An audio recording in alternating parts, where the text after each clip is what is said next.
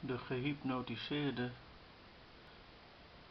als die is gehypnotiseerd door iemand die continu in die ander dan dingen bepaalt, dan neemt de gehypnotiseerde dingen over.